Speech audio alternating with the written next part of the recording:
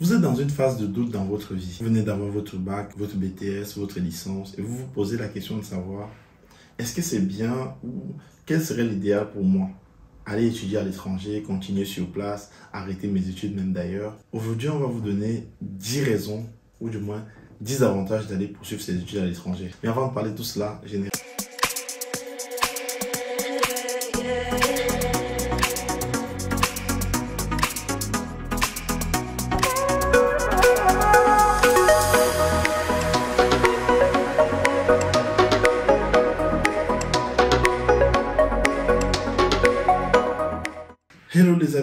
que vous allez bien. Bienvenue sur Un jour un métier. Je suis Herman QAT. Ici, on parle d'orientation, de reconversion, de digital. Bref, on parle de tout ce qui est lié à l'épanouissement de la jeunesse en général. Petite parenthèse, pensez à vous abonner, à activer la cloche de notification pour être toujours au courant de nos publications hebdomadaires. Pensez également à mettre un pouce bleu si vous aimez le type de contenu que nous faisons et partagez également avec tous vos amis et toutes les personnes qui pourront apprécier le type de contenu dont nous faisons ici. Comme je le disais tantôt en introduction, effectivement, il y a énormément de personnes qui, euh, à la fin d'un cycle d'études, aimeraient pouvoir poursuivre leurs études, mais ils sont dans un doute. Ils ne savent pas s'ils vont aller à l'étranger ou alors rester sur place. Aujourd'hui, on va vous donner 10 avantages, ou du moins entre 8 et 10 avantages, on va dire ça comme ça, entre 8 et 10 avantages exactement, pour pouvoir aller à l'étranger poursuivre ses études. Le premier avantage, c'est tout simplement apprendre et maîtriser une langue étrangère. D'ailleurs, comme je le disais tout à l'heure, entre 8 et 10 justement, parce que euh, apprendre et maîtriser une langue étrangère, c'est pas toujours vrai. Dans le cas où par exemple vous êtes au Cameroun et que vous venez étudier en France, vous parlez français au Cameroun, vous arrivez en France, c'est encore le français, c'est pas une nouvelle langue. Mais généralement, si par exemple vous partez du Cameroun pour l'Italie, pour l'Allemagne, pour l'Angleterre, pour, euh, je sais pas, la Finlande, la Suède et je ne sais trop quoi, vous allez apprendre une nouvelle langue. Vous allez la pratiquer, vous allez la vivre au quotidien, vous allez étudier avec cette langue et forcément vous aurez une nouvelle langue. Une nouvelle langue, ça veut dire une nouvelle manière de parler, ça veut dire une nouvelle culture, ça veut dire une nouvelle approche, ça veut dire une nouvelle vision du monde. C'est un enrichissement qu'on ne peut même pas mesurer à la limite.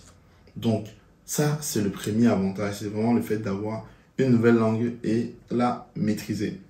Le deuxième avantage, c'est devenir autonome. En effet, quand on est dans son pays natal, où on a ses parents à la maison, on vit en famille, tout est tranquille.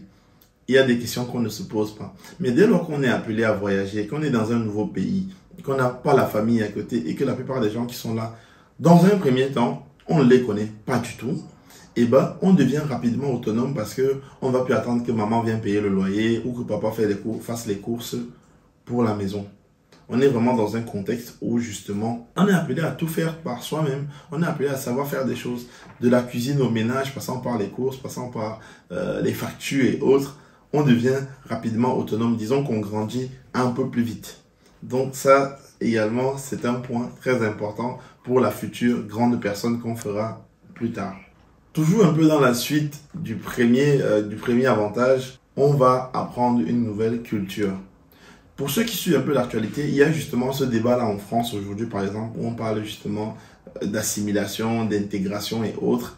Parce qu'effectivement, on se rend compte qu'il y a des gens qui arrivent en France et qui ont encore des soucis d'intégration, ou du moins qui gardent totalement leur culture du pays d'origine. Cela est également lié d'une certaine manière à la langue. Parce que le fait de ne pas avoir à apprendre le français, on pourrait se dire que vu que j'ai pas appris une nouvelle langue, pourquoi est-ce que je vais euh, m'efforcer finalement vers une nouvelle culture? Mais je peux vous dire, quand vous partez d'un pays vers un autre, d'une certaine manière, volontairement ou non, vous êtes appelé à apprendre une nouvelle langue, à apprendre une nouvelle culture en tout cas. Et cela a énormément d'avantages. Parce que euh, vous allez maintenant réfléchir en cette langue-là. Vous allez euh, faire tout dans cette nouvelle culture. Vous allez devoir apprendre les nouveaux repas du coin, vous faire une nouvelle manière de penser, fréquenter des nouveaux endroits, avoir de nouvelles typologies euh, euh, de rencontres. Bref, culturellement, vous ne serez plus la même personne. En tout cas, vous aurez une culture de plus dans votre catalogue à présenter. En quatrième position, se faire de nouveaux amis. Oui, effectivement, si vous étiez par exemple au Sénégal, euh, du moins à Dakar, à Abidjan, je sais pas, à Lomé, et que vous arrivez aux États-Unis, ben, vous n'aurez plus les mêmes amis que vous aviez dans votre quartier à Dakar ou à Douala. Là, vous avez des nouveaux amis, vous avez des nouvelles personnes que vous connaissez. Vous devez d'ailleurs apprendre à vous faire des nouveaux amis. Vous voyez qu'il y a énormément de choses qui vont se développer en vous à côté de, vos études. En cinquième position, vous allez vivre une aventure unique. Et oui, unique dans tout le sens du terme, parce que vous, vous arrivez dans un nouveau monde où tout est différent. Je dis bien, tout est différent. Même les personnes sont différentes. Il n'y a rien qui ressemble à où on vivait avant. De la formation à l'école, du traitement au quotidien, de, de, la vie en famille, de la vie des voisins, euh, de la cantine, de la nourriture, de, de la restauration, de tout. Du monde du travail, tout est différent. Vous serez une nouvelle personne. En sixième position, on parlera de l'enrichissement du CV. Et oui, non pas pour dire que quand on étudie sur place, quand on a fait toutes ces études au même endroit, on n'a pas un CV qui est riche, mais le fait d'avoir étudié à l'étranger, il y a énormément de choses qui se rajoutent sur votre CV. Déjà, on comprend que la langue en plus que vous avez pratiquée dans, l'autre pays, vous la connaissez plutôt bien. Ça, c'est la première chose. Parce que vous avez étudié et vécu dans cette langue-là, donc vous la connaissez bien. Ensuite, vous avez également acquis pendant cette période euh, un enrichissement culturel. Donc vous pouvez, pour, des personnes par exemple qui travaillent, qui sont commerciaux dans leur entreprise, il est clair que le fait d'avoir été dans plus d'un pays est un atout indéniable parce que justement, vous êtes capable d'adresser des offres commerciales beaucoup plus intéressantes, beaucoup plus adaptées, beaucoup plus touchantes vers des personnes issues du même endroit où vous avez, vous avez fait vos études ou alors vous étiez par le passé. Parce qu'effectivement, le fait d'avoir été à l'étranger vous permet, vous donne justement cette double casquette-là, cette double culture permettant d'être beaucoup plus impactant dans vos offres. En septième position, qui est une suite, disons comme ça, du point euh, numéro 3, normalement, si je ne dis pas de bêtises, vous allez découvrir une nouvelle manière d'enseigner. Je vous dis, je vais vous prendre un exemple. Par exemple, j'ai un ami en Italie qui, euh, lors d'une discussion l'année dernière, je lui demandais comment est-ce que ça se fait qu'il a passé plus de six années en Italie avant d'obtenir sa licence, qui normalement s'obtient, je dis bien normalement, en trois années et demie. Il m'a dit, Herman, écoute, moi je suis arrivé en Italie. Au Cameroun, je devais reviser mes leçons, étudier, étudier, et puis le jour de l'examen, je m'en vais, je remplis ma copie. Si tout est bien, j'ai ma note, c'est terminé, merci, au revoir. J'étais noté sur 20, tout allait très bien. Là, j'arrive en Italie, ce n'est plus du tout ça. Le prof vient, il fait son cours, il fait son cours, tout va très bien. Mais, sauf qu'à l'examen, c'est plus vraiment ça. Je dois déjà, un, remplir ma copie comme ça se faisait au Cameroun de façon normale finalement, et valider une note, je crois, de 18 sur 30. Ça, c'est la première des choses, équivalent à 12 sur 20 à peu près. Une fois que cela est validé, je suis également convoqué à un oral où je suis amené à expliquer sur, une thématique choisie par l'enseignant et valider également, avoir une note positive. Ce qui, pour la plupart des cas, est très compliqué. Imaginez, vous devez expliquer les mathématiques en italien. Surtout sur un cours dont vous n'avez de maîtrise que ce qui est écrit dans votre cahier.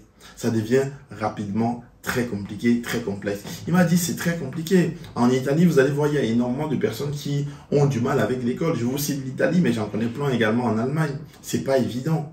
Et du coup, à la fin de vos études, vous avez un avantage qui est hors du commun, qui est complètement hors du commun sur le marché de l'emploi. En huitième position, on parlera du carnet d'adresse. Et oui, si on revient toujours sur l'exemple de mon ami qui est parti du Cameroun pour l'Italie, au, au, Cameroun, il avait un certain nombre de personnes qu'il connaît, un certain nombre de personnes qu'il côtoie, avec qui ça se passait plutôt très bien. Et là, il se retrouve en Italie il a des nouvelles personnes, il rencontre de nouvelles personnes, il se fait un nouveau carnet d'adresses. Et vous savez très bien comme moi, le réseautage aujourd'hui est le nerf de la guerre. Le réseautage aujourd'hui ouvre des portes que individuellement, ce serait quasiment impossible de les ouvrir. Donc, le fait de se faire un nouveau carnet d'adresses, c'est toujours très très intéressant et très bénéfique pour les personnes qui peuvent le faire, notamment à l'échelle internationale. En neuvième position, on relève de nouveaux défis. Oui, parce que on n'est plus chez soi, on n'est plus à la maison, on a énormément de nouveaux problèmes qui arrivent. Euh, on doit répondre à des questions dont on n'était même pas sollicité avant. On, devient rapidement le père, la mère et les enfants de la même maison. Où on doit répondre à tous les problèmes, euh, sans compter l'école en lui-même, les difficultés. Bref, on se retrouve rapidement dans une situation où il y a énormément de filles à relever Et il n'y a personne avec nous. On est là, on est seul. Euh, pour ceux qui ont de la chance d'avoir parfois, on va dire, leur frère qui est arrivé en Europe avant eux, qui va un peu les épauler, ce sera déjà un grand secours. Mais pour la plupart des gens, ils sont les premiers de leur famille arrivés en Europe. ils ont énormément de défis à relever. Et à la fin, du moins après cela, ça devient un atout pour eux, ça devient un avantage, une grosse ligne en plus sur leur CV. En dixième position et en toute dernière, on devient, pour la plupart des cas en tout cas, indépendant financièrement. Indépendant financièrement, ça veut dire que, étant donné qu'on est quitté du cocon familial, qu'on vit maintenant tout seul de l'autre côté, de l'autre bout du monde, et d'ailleurs même pour la plupart des Africains, quand ils voyagent, le but est de pouvoir justement être indépendant financièrement et pouvoir ensuite aider leur famille, aider les personnes qui les ont aidés à voyager. Donc justement, étant donné qu'on est plus à côté de la famille, qu'on se débrouille tout seul, qu'on a du travail, qu'on a du, euh, qu'on a un boulot finalement comme ça qui nous rémunère, on devient indépendant financièrement et en contrepartie de l'autre côté, on aide la famille, on s'occupe des personnes un peu moins nantis que nous, on les accompagne et on devient finalement euh, le responsable financier de la famille, si je puis dire ça comme ça. J'espère que ces éléments vont vous permettre de pouvoir euh, mieux prendre la décision de si vous vouliez aller à l'étranger ou pas ou poursuivre vos études. J'espère que cela vous a apporté quelques arguments en plus dans le process. Si vous avez, si jamais il y a des, des, aspects que j'ai pas forcément abordés dans la vidéo, pensez à me les dire en commentaire. Si vous aimez le type de contenu, un pouce bleu est toujours la bienvenue. Pensez également à partager la vidéo. C'était Herman QAT. Ciao, ciao.